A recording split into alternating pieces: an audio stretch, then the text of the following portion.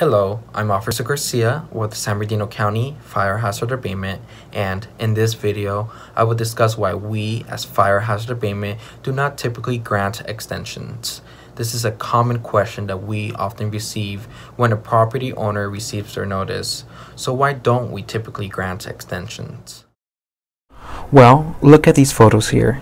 Notice the catastrophe that fire can create. Wildfires does not provide any leniency in time Fires are an urgent matter and a public safety concern.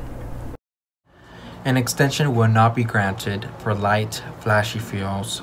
Some examples are weeds, grass, and pine needles, but otherwise, on rare occasions, a 10 day extension may be granted if under this criteria. 1. At least 51% of your property or more must have been abated. 2.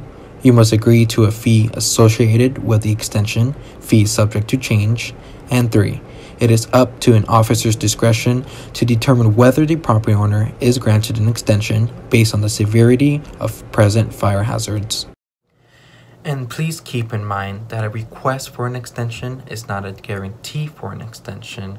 So with that in mind, when we ask why fire hazard abatement does not typically grant extensions, well, due to the nature and destructive force of fire.